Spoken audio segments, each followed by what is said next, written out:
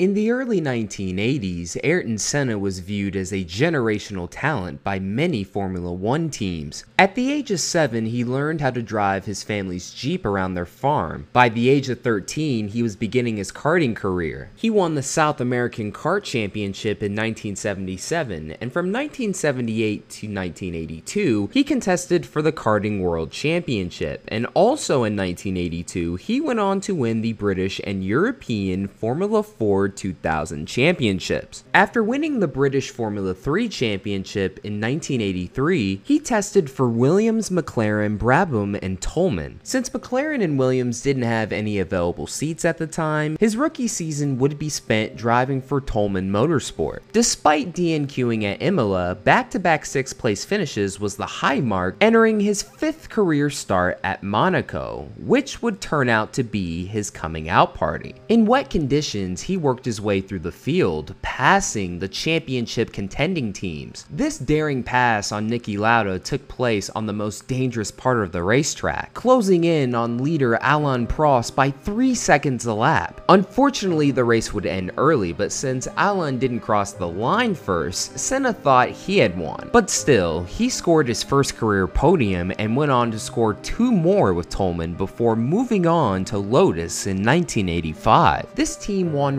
races and championships, so without question, Senna's move was viewed as a massive upgrade. In just his second start with the team, he scored his first career victory in the Grand Prix of Portugal. He would drive for Team Lotus from 85 to 87, scoring a total of 6 victories, along with 22 podiums and 16 poles. Watching Senna qualify took everyone's breath away. In Formula 1, you did not want to be the driver to ruin Senna's fast lap. Senna went on to finish top 5 in points in those three seasons, but the team wasn't quite good enough to win a championship. During the 87 season, Lotus was powered by Honda, and through that relationship and the approval of Alain Prost, Senna had joined the McLaren team for 1988. You had the established champion and the young upstart. With all the pieces in place, McLaren was set to dominate for the next few seasons. With such a dominant car and driver combo, it would be more of a challenge racing against each other rather than the rest of the competition. After leading by 55 seconds at Monaco, Senna would crash out early because of driver error. Even though it was early in the season, in a way, this snapped him back into focus. Refusing to be labeled the number 2 driver, Senna went on to win 8 races, score 11 podiums as well as 13 poles, scoring his first World Drivers' Championship in 1988. Entering 1989, McLaren had a problem. What happens when you have two World Championship drivers on the same team? You begin to have friction. The relationship had completely soured, and it would be shown on full display in the 1989 Japanese Grand Prix. Senna and Prost made contact. Alain wasn't able to finish, but Senna kept going. While Prost went to the steward's office, Senna won the Japanese Grand Prix, or so we thought. Senna was disqualified for receiving a push start, cutting the chicane after the collision, and for crossing into the pit lane entry, which was not part of the track. Because of this, Alain clinched the championship and publicly stated he couldn't wait to leave McLaren because it was impossible to work with Senna. Senna stated he felt he was treated like a criminal. But 1990 would be a fresh start, as this time there was no question that Senna was the team's number one driver. For the third season in a row, the Japanese Grand Prix would be the championship decider. Now driving for Ferrari, if Alain didn't finish the race, Senna would clinch the championship. Despite winning the pole, Senna would start on the dirty part of the track, giving Alain more grip to take the lead on the start. For the second season in a row,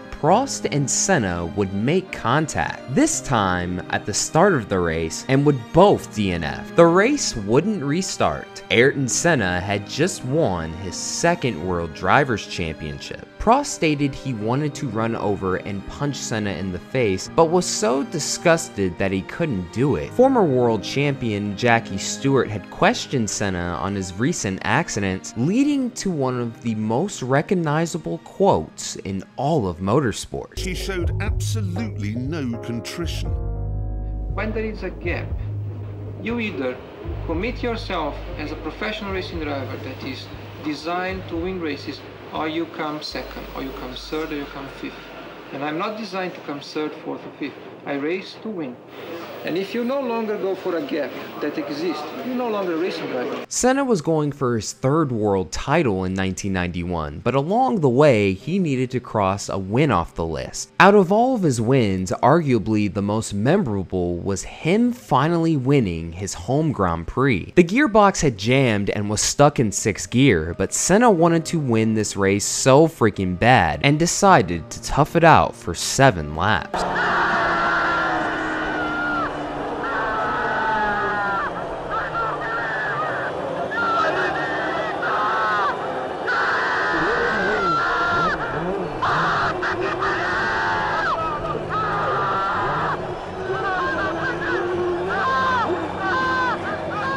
Senna needed help getting out of his car and getting up to the podium, but once he was finally up there, he was embraced by the Brazilian public. The 1991 season is arguably his best, winning 7 races, 12 podiums, and 8 poles, along with a 3.4 average finish the best of his career. The championship would come down to either him or Williams' Nigel Mansell. On lap 9 of the Japanese Grand Prix, Mansell attempted to overtake, but spun out into the gravel. He was unable to finish. Senna had won his third World Drivers' Championship in four years, becoming the youngest driver to do so. With this amazing four year span, it felt like nothing could stop them until somebody did. Senna's determination to win manifested itself in dismay at McLaren's inability to challenge Williams. Nigel Mansell won the 1992 World Championship, while Senna finished fourth in points, his lowest since 1986. Senna expressed interest in joining Williams, but when Alain Prost decided to come back from a sabbatical, he signed with Williams for the 93 season after taking the entire 92 season off after getting let go early by Ferrari in 91. One of the agreements he had in the contract was making sure Ayrton Senna wasn't a teammate. It's impossible to accept somebody to come to a team February in the year with the signed contract, Vito, myself and himself too. And eventually they change his side, but stay with the Vito and myself. And I think if Prost is, wants to be called the sole champ and three times world champ and come back in a sportive way, maybe win another championship, he should be sportive. The way he's doing, he's behaving like a coward. It's like if you go in a 100 meter sprint and you, you want to have running shoes and everybody else have, should have lead shoe. That's the way he wants to race. This is no racing.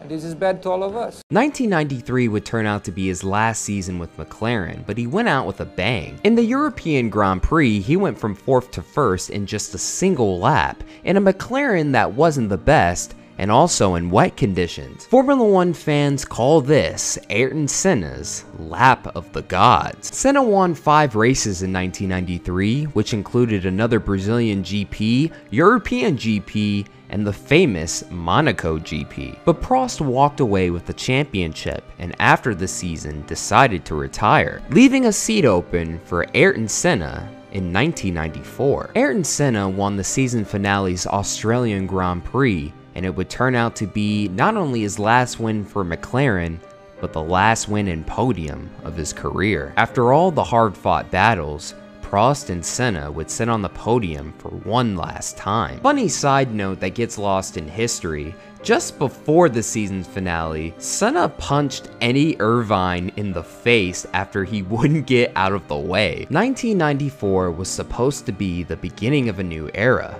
After all of those seasons driving for the McLaren team, Senna would move on to Williams. While they had the pace to compete for a championship, the car had a ton of other issues. Senna wasn't fully comfortable with the car and team yet. But then again, we're only two races in. After two DNFs to open up the season, the third race was gonna make or break them. The San Marino Grand Prix was supposed to be like any other, but as we know now, it turned out to be the most tragic weekend in Formula One history. During practice, fellow Brazilian Rubens Barrichello lost control and had a massive accident.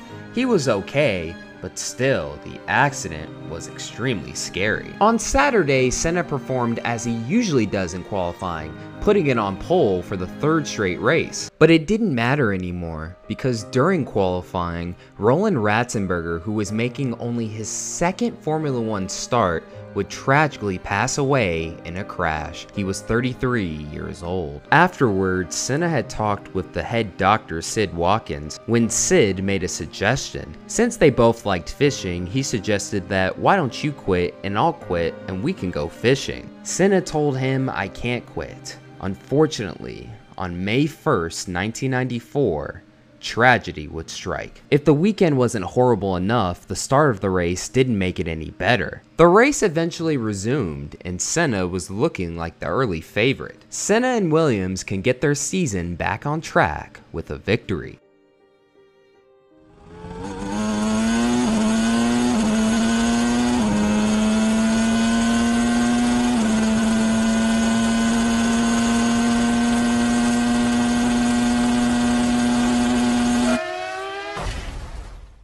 Once Sid Watkins got to him, he raised his eyelids, and it was clear from his pupils that he had a massive brain injury. He lifted him from the cockpit and laid him on the ground.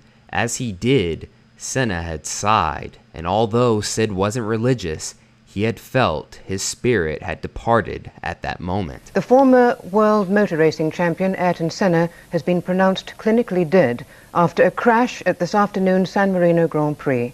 Senna suffered serious head injuries when his car left the track and crashed into a concrete wall. The official report concluded that a combination of factors, including the design of the steering column and the suspension system, as well as the characteristics of the track, contributed to the accident. But even though that's on the FIA's official report, the cause of the accident is still debated to this day. The entire country of Brazil was in a state of mourning. Senna not only represented the country in Formula One, but did so much for the people that they wanted to pay their respects. Thousands of people crowded the streets of Brazil to get a look at their hero one last time. Even though his career and life were cut way too short, Ayrton Senna is still considered the greatest driver in Formula One history. From his accomplishments to his personality to the controversies, as well as his generosity and ferocious style behind the wheel, made him one of the most iconic figures in Formula One history. Even though Lewis Hamilton has the most wins, if you were to ask him who the greatest of all time was, without question, he would say Ayrton Senna. When asked which driver he got the most satisfaction from racing against, he didn't mention anyone in Formula One, instead choosing to give props to his former karting teammate Terry Fullerton. For Senna, it was pure racing. No politics, no money involved. It was real racing, just as he liked it. Ayrton Senna was 34 years old. Thank you guys so much for watching. This is Black Flags Matter. Catch you next time.